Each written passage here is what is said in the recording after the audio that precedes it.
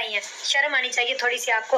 और ख़ातून यूट्यूबर को तो औरत होने पे शर्म आनी चाहिए। ऐसी औरतों को तो अपने पे ना शर्म आनी चाहिए कि वो औरत के नाम पे एक धब्बा है। जी, अस्सलाम वालेकुम फ्रेंड्स। कौम की एक बेटी को दूसरी बेटी का साथ देना महँगा पड़ गया। जुनैरा महम की जानब से फ़ख्र पाकिस्तान स्ट्रॉन्ग उजमा जो पहले दिन से ही दुआ जहरा केस में जहीर गैंग के नापाक अजायम को मुल्को, कौम के सामने ला रही थी। आई दुआ जहरा की लाहौर दारुल अमान से कराची वापसी पर अदालती फैसले के बाद स्ट्रॉन्ग उजमा पर जुनैरा महम की जानब से अपनी हार और जेल में जाने का सोच शोर कर स्ट्रॉन्ग उजमा को बीमार और नाजेबा अल्फाज से पुकारा गया। स्ट्रॉन्ग उजमा का सुनहरा महम को उसी की ज़ुबान में करारा जवाब अभी आप भी सुने। के लिए बड़े सरप्राइज़ बाकी हैं। इनशाला मेरी तरफ़ से भी बड़ा ज़बरदस्त सा सरप्राइज़ होगा जो उसने कहा था कि नाइटियाँ पहनी हुई थी।